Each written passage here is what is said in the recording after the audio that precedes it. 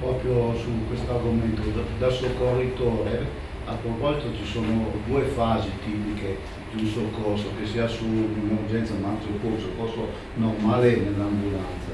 Il soccorso ha una fase tecnica dove la persona, il soccorritore scende, ha davanti solo un paziente infortunato che ha necessità di essere portato via il meglio possibile nel più breve tempo possibile. Questa è la parte tecnica. Quando il paziente è caricato sull'ambulanza, nel tragitto diventa fondamentale la fase dell'approccio psicologico, che può cambiare la, la faccia ad un soccorso, cioè questo, questo paziente lì diventa persona, lì ha bisogno di comprensione, di affetto, di comunicazione.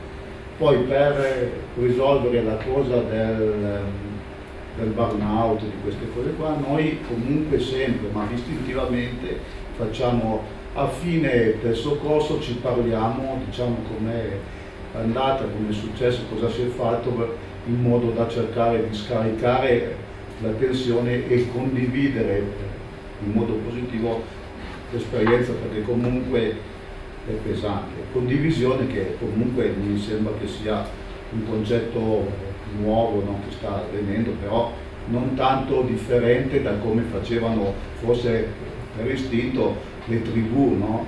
di primitivi, quando c'era un lutto forte, una catastrofe, un qualcosa, si trovavano di fronte al fuoco con il loro sciamano, capo, eh, che, che ballavano la notte per spalmare, dico io male, ma condividere l'evento tragico su tutti.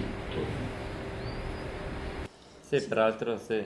questa cosa mi fa sicuramente importante questi momenti di condivisione emotiva, di condivisione sociale, anche perché in qualche maniera rispetto a quello che diceva Elvira era, possono essere come dire dei, dei segnali specialmente in quelle culture organizzative in cui l'espressività emotiva l'idea di una propria vulnerabilità come soccorritore è vista negativamente e quindi l'idea invece di essere come dire, soccorritori eh, e persone che provano emozioni positive o negative e quindi restituire questa, dire, questa maggiore autenticità insomma, a chi si confronta con la sofferenza altrui è sicuramente un elemento importante.